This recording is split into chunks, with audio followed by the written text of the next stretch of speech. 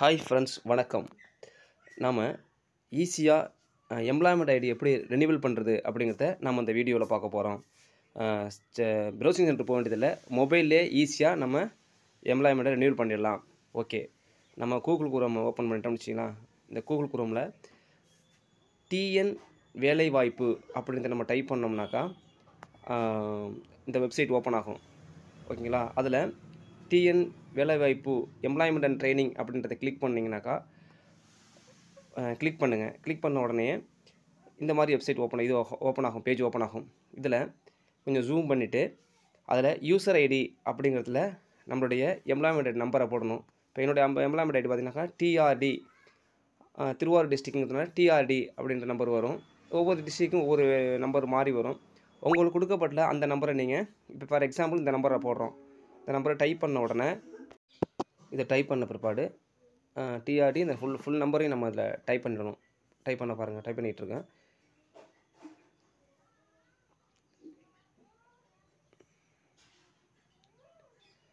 Okay இப்போ என்னோடய number லாஸ்ட்டில் பார்த்தீங்கன்னா ட்ரிபிள் ட்ரிபிள் த்ரீ முடிச்ச பிற்பாடு அடுத்தது பாஸ்வேர்டு கேட்குது. நீங்கள் பாஸ்வேர்டு வந்து மேக்ஸிமம் என்ன பண்ணியிருப்பாங்கனாக்கா உங்களுடைய பா டேட்டா பர்த் தான் கொடுத்துருப்பாங்க. இல்லை ஒரு சில பேர் வந்து மாற்றி கொடுக்கலாம்.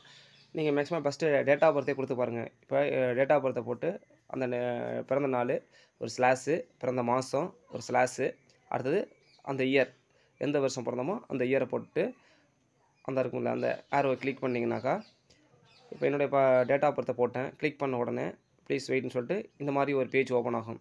இந்த பேஜில் இங்கே மேலே பார்த்தீங்கன்னாக்கா நம்மளுடைய பேர்லாம் கரெக்டாக இருக்கா ஐடி நம்பர்லாம் கரெக்டாக இருக்கா அப்படின்ற நம்ம ஒரு வாட்டி வெரிஃபை பண்ணிவிட்டு அடுத்தது அப்டேட் அப்படின்ற ஒரு ப்ரொஃபைல் அப்டேட் அப்படிங்கிற ஒரு மேலே ஒரு ஐக்கான் இருக்குது பார்த்தீங்களா அதை கிளிக் பண்ணுங்கள் அதை கிளிக் பண்ண உடனே இப்போ நமக்கு என்ன வரும்னாக்கா கேண்டிடேட்ஸ் ரெனிவல் அல்லது டேட்டா அப்டேட் அப்படிங்கிறதுலாம் சேஞ்ச் இந்த பாஸ்வேர்டு ஏதாவது இருக்கும் நம்ம வந்து ரெனிவல் பண்ணுறதுனால அந்த ரெனிவல் அப்படிங்கிறத கிளிக் பண்ணணும்.